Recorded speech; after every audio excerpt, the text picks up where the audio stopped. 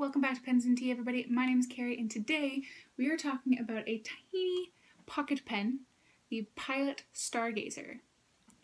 I don't have a tea for you guys today. Unfortunately, I am completely out of teas that I have not talked about so far.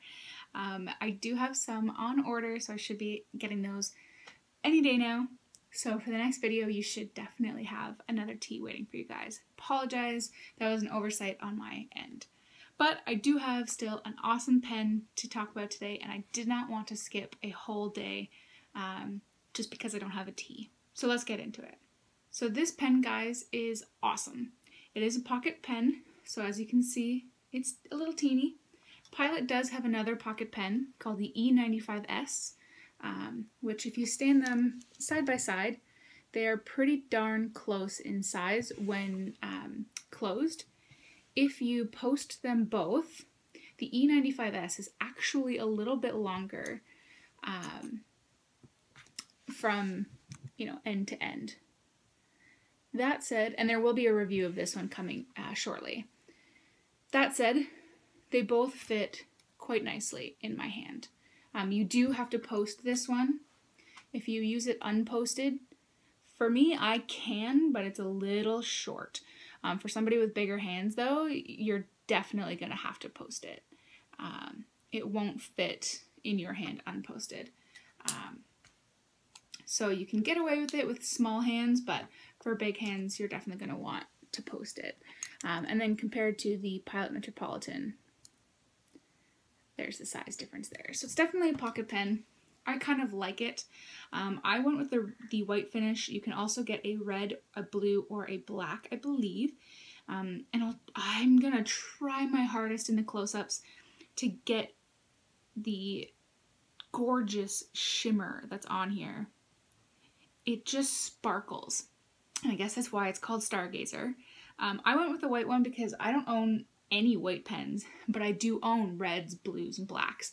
Um, but all of them have this amazing, like, sheeny shimmer on it. Basically, the stuff that you want in your ink, this pen has on its finish. Um, I love the feel of it. It's lacquered very nicely. Um, it's just decorated with silver trim, and on the trim line, it just says Pilot Japan. Um, the clip is quite springy, so you're going to be able to use that with no issues. And it is a snap cap. So snap cap, push to post, and you get that satisfying click.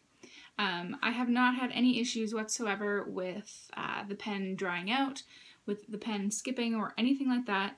Um, I haven't even noticed any ink being pulled into the cap yet. I'm sure I will, just like I do with the Pilot Metropolitan but I haven't so far, um, and that's really cool.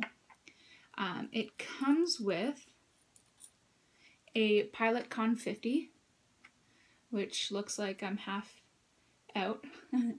I have Diamine, Dimine, um, Misty Blue in here right now. So it comes with one of those. It can use the Con 20 as well.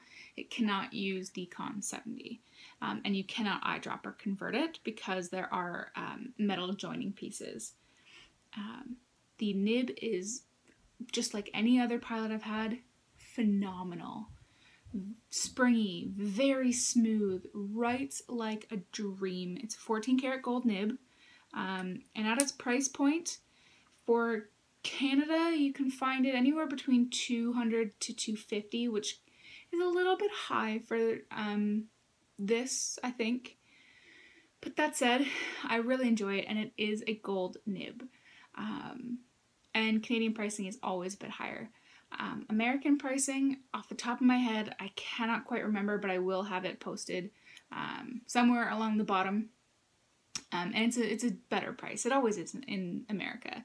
Um, but with any Japanese pen, if you order it directly from Japan, you will save money. However, um, I don't like to get into that too much because there's a lot of potentially nasty variables to deal with if you do that. Um, you got to make sure you go the right way. Um, the only thing about this pen that I would caution people to be aware of, other than the size itself, but it being a pocket pen, I don't consider that a negative because it's a pocket pen. You know that when you buy it. Um, so don't consider that um, a negative whatsoever. If you have very large hands, the grip could be a little bit narrow, but again, it's a pocket pen. So if you have a very large pen or a hand, you may not want to buy this anyways. So I don't consider those negatives because those are just things that you're going to have to look for when you are looking at a pen anyways. The only thing, and this goes with every Pilot pen, is that they are proprietary cartridges and converters. So you can't use standard international, you do have to use pilots. A lot of people have a hate on for the Pilot Con 50s, which is the one that's in here because it doesn't have the largest ink capacity. For me, I have no problem with them whatsoever. Um, I find them easy to clean. I don't mind that they don't have a very large ink capacity because I change my inks like I change my socks pretty much every day. um, so to me, it doesn't bother me. But that is something that you are going to have to be aware of. Um, I personally, Pilot as a brand um, is my favorite brand to buy. Um, I have one, two, three, four, five, six. I have seven different kinds of pilot pens, and some I have multiple of in within a certain model. So to me, it being proprietary doesn't matter because I have a billion of them anyways. um, but that's the only thing that I would say. Um, I really enjoy it. I like the fact that for it being a pocket pen, for it being small, it has some weight to it, whereas the E95S doesn't. This is a very light pen, um, most likely because it's mostly plastic, um, whereas this one is made out of metal. So this does have some good weight to it, um, which I like. But that being said, let's jump into the writing sample and I'll let you know what I think of that.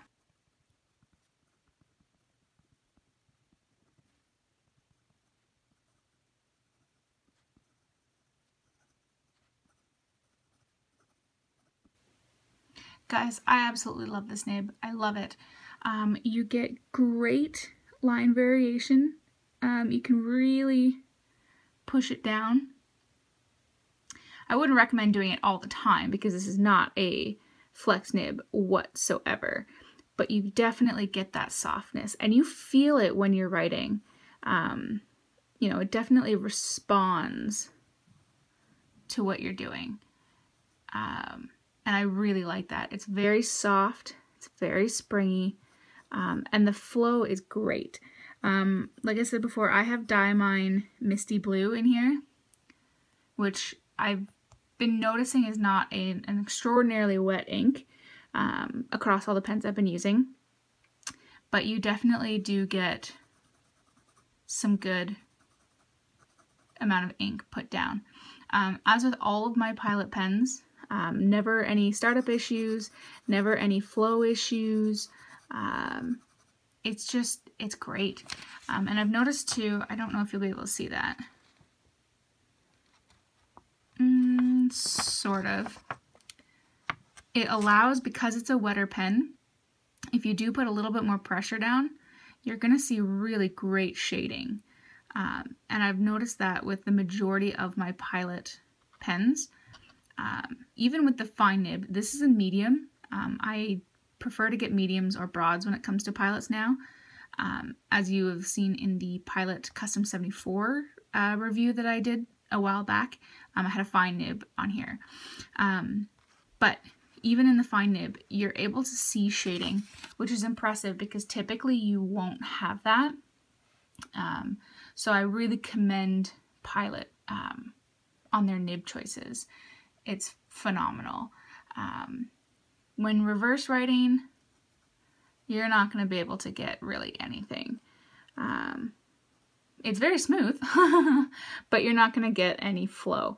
Um, so don't, you know, expect that. But I, I don't really get the point of reverse writing to me, but some people like it, so that's why I like to, to put it down. Um, but guys, honestly, that's it. I will say I tend to be a little bit biased towards Pilot pens. I have never encountered one that I haven't liked. Um, But if you're looking for a smaller pen that writes like a dream, um, then definitely check this out. But guys, that's enough for me today. Um, you know, if you like the video, please subscribe. I post videos every Monday and Friday.